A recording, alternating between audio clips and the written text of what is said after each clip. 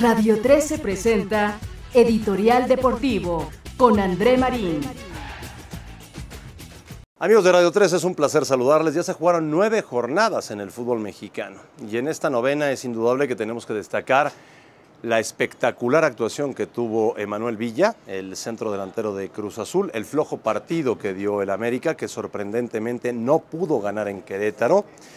El debut de Arias con las Chivas y un triunfo bastante frío y rácano ante unos jaguares que están pensando tomar decisiones fuertes con la dirección técnica y que me parece tendrían que tomar calma.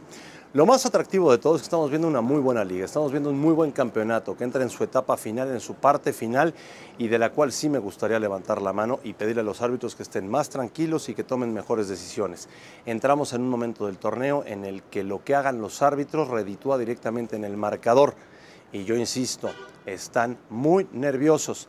Tienen que estar más tranquilos, tomar las cosas con más calma y entender que no son ni lejos los grandes protagonistas de esto, que son los futbolistas, los directores técnicos y sus respectivas aficiones.